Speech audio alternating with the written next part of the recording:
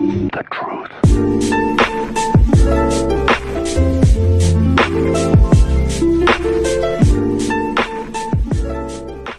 Mga kasemple, bali sira pala yung aking washing machine.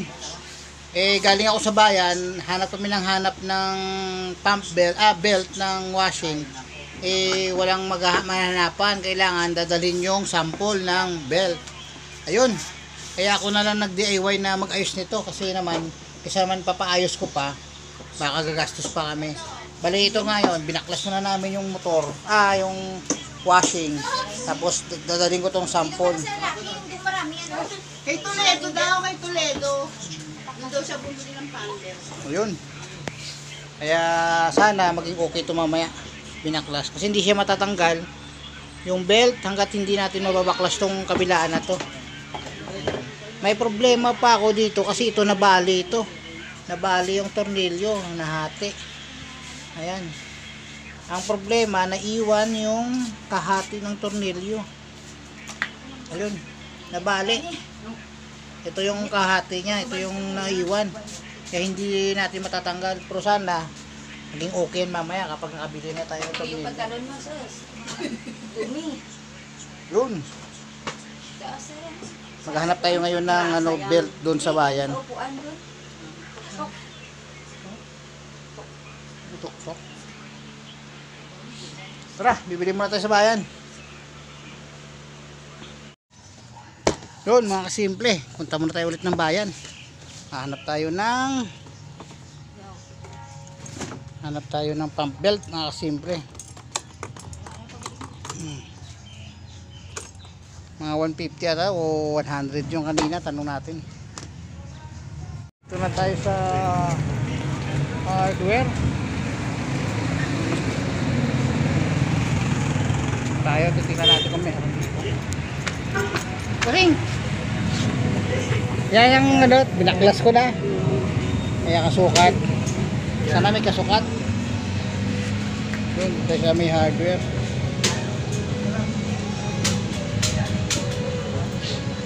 Sana may kasukat yung binili natin ng mga ano, na belt ng ano,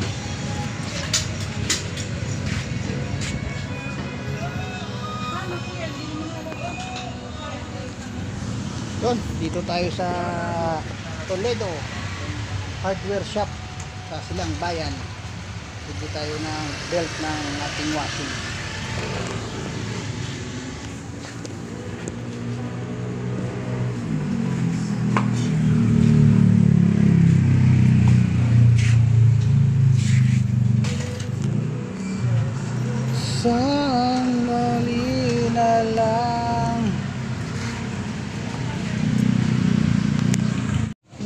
Pagitan na ganda, no? Te, ano kaya ano yan? Okay lang hindi sila ano? Hindi ka, mahigpit na mahigpit ba nung kinalas mo? Hindi maluwag eh. Duwag. So sa Maluwag. tingin mo, kas, yan ang pagitan, no? Yan, oh. Pagitan, ano paano po ang pagitan? Ito yung diferensya, oh. Ah, Yan, talaga. Yan.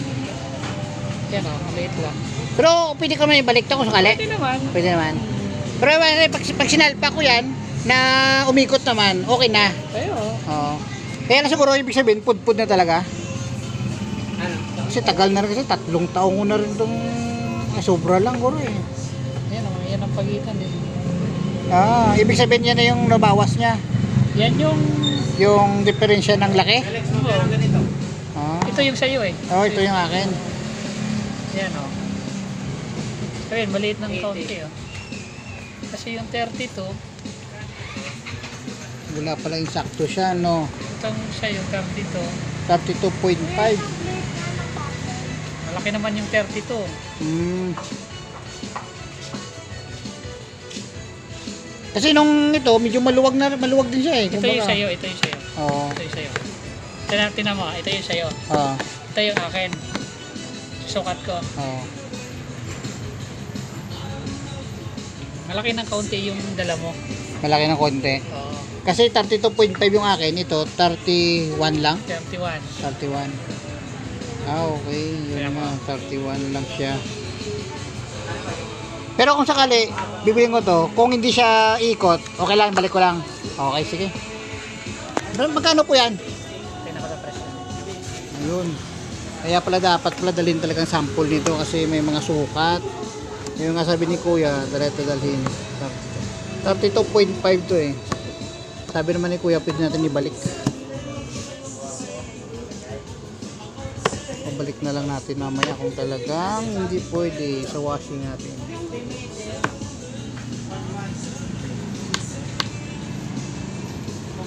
Ayun.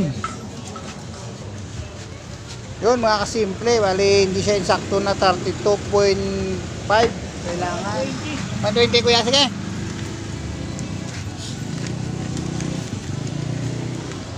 Babalik na lang natin daw mamaya kung pwede. I-return natin. Return, return.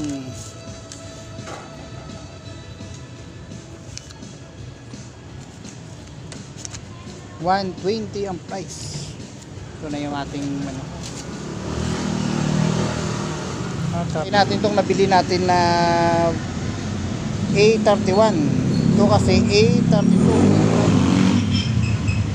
Babalik na lang natin pag ano. Pag hindi pwede. Okay, thank you kuya. Thank you. Okay. Salpa ko na agad para Kulang ng size ba, pre? wala eh. Ah, sa yan ang sabi ko, ang hirap Ang sabi na, hirap hanapin. So, yun. Testing muna natin. Medyo may problema lang tayo dito. Ito lang. Kasi, yung size dito, 31 yung binigay sa atin, 32.5. Kaya pwede natin ito ibalik. Testing muna natin. Yan daw, yan daw.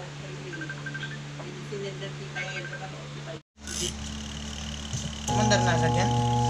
Parang, Ayun. Wala, nag-stop out. ba't ganun? Baka nga hindi nga siguro sa motor. Baka sa motor nga siguro ang problema.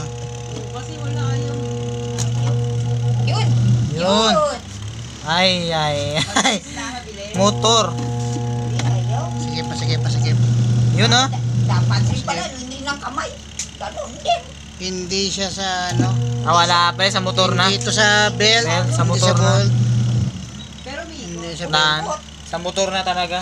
Hindi sa belt Ang motor problema. ay napagod na. Hindi yung belt yung problema nito. Kailangan ko ganito yun talaga. Hmm, Pero nagana. Pero mabilis. yun. Oo, mabilis siya, mabilis na. Hindi ka tulad nun. At saka iba na yung ano, tunog. Yung, Dati yung yun. dati, tugudug, tugudug. Maluwag na. Tsagaan mo na lang kaysa mahirapan. Oh. Baliktad Baka matagal na naman para. Akin na. Oo. Hindi siya. Sa ano tong problema guro sa motor. Motor ang problema natin kasi ganun din naman eh. Overuse. Kahit yung luma ko na belt, ganun din. Eh, pero mas okay ngayon yung ano. Ah, mas maigi yung tunog ngayon. Oo. Tsaka malakas yung ikot. Na lang, yung problema talaga, kapag hindi mo siya inikot, Wala. hindi siya ikot, Eh, pag yung kusa siyang, kusa Sa, nag-start. ano ba tong made? Made in China to dati? Hindi ko alam. Ah, ngayon, made in Philippines na, pre. Sharp to eh. Pagkal, Ha? made in Philippines na. Hindi kamay. Hindi automatic na bilhin mo din pa ganun. Oo. Yung sa Kerwan, te, ano lang yun eh, 30. Oo nga, yung sa Kerwan. Pare kayo, no? Mm. Pero maganda naman siya. Papatingin ko na lang to kay Angelo to. mag-negosyo doon, mag-laundry. Oo nga, di ba pre, no? Double purpose Kasi yun. hindi siya na ano, hindi siya na kusang na ikot. Siguro may problema ang motor nito. Or baka dun sa may kabila. Di ba kulang sa, Bakit kaya? ano pre, oil? Hindi naman. Pero maganda ang tunog ngayon dito sa dati. May stock na. Paano yan? Okay na yan? Okay na yan, kasi wala. Para maganit eh. Pwede bang luwagan to konti? Oo, ano, Para siguro ba, Nicole? Maganit, baka nga siguro. Oo nga. Baka nga siguro luwagan Sa natin. mo. O ano, tatanggalin natin dito. Tara, mo tayo, gutom ako. Matay na ako sa drinks. Kain muna kami, sobrang init. Tayo ka naman, be. Eh, tawa naman kami. Ito yung aming ulam. Nagluto kami ng may sabaw. Oh, Kamuti.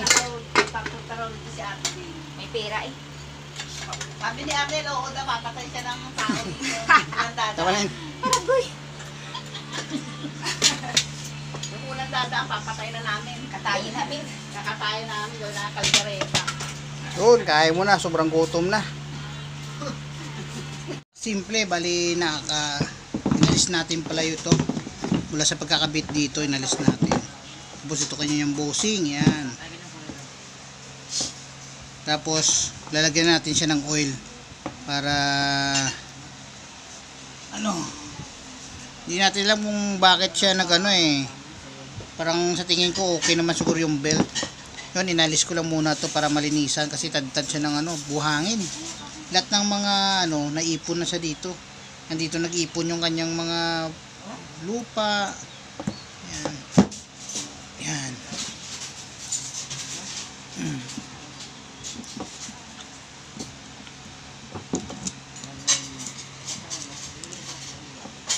Yun. Tapos try natin ulit. Tapos ito naman.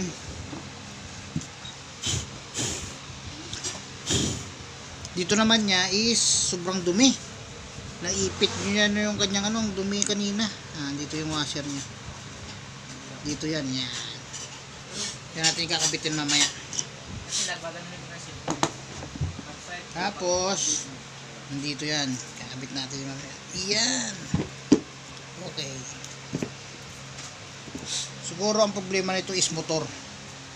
Kasi kapag iniikot mo kailangan pa siya ikutin para magano eh umikot eh. itong motor niya. Try natin ibalik ulit kung mayroong pagbabago. Huli ang problema ko lang is okay naman yung motor nito. Pero ang problema lang kapag sinaksak ko na yung kanyang belt medyo hindi siya kusang umiikot. Kaya ang purpose ko inalis ko to para malinisan. Pero okay naman kung makita nyo yung motor okay naman eh. Tumatakbo naman. Ewan ko lang kung anong something nito at bakit eh, ayaw umikot kapag may, pin, may pump belt na. Okay kakabit natin ulit yung ating belt. Okay, ganun pa rin ang problema nito. Umiikot naman siya kapag itutulak mo siya. Kaya siguro baka titingnan natin yung kanyang timer. Baka yung kanyang timer may problema. Ano ikot mo siya. Ikot mo siya is yun. Gumagana naman eh. Pero dapat ang ikot nito ganito eh pabalik-balik eh. Titingnan natin dito sa timer kung ano problema tuksan ko pala yung kanyang ano to? Yung kanyang switch yung kanyang timer. Kaya pala minsan eh amoy sunog. Kaya siguro nga baka nga yung yung sira nandito sa timer niya ng elect ng washing. Ito yung kanyang timer. Kaya yun nga lang nagkamali ako. Pagbukas ko pumitik. Pero hindi ko alam kung paano kasi medyo may ano siya eh hindi natin may babalik to. Ayan o makikita ninyo merong meron siyang sunog sa loob ng timer yon siguro talaga ang sira nandito sa timer na to. Kaya need help na natin ng electrician dito technician. Kailangan natin natin technician dito kung sakali. Tapos tatanong ako kung magkano abutin ng timer na to para papalitan natin ng timer timer ang sira. Okay wala na tayong magagawa nito kung sakaling hindi magaganda. Kasi lahat ng possible na mga problema tinignan na natin. Tinignan natin yung motor medyo okay naman working. Yun nga dito natin na patunayan na medyo may sunog sa loob. Yun baka nga nandito talaga ang problema nito. Pero syempre papatingnan din natin sa tropa natin kung talagang ito nga talaga or bibili tayo ng timer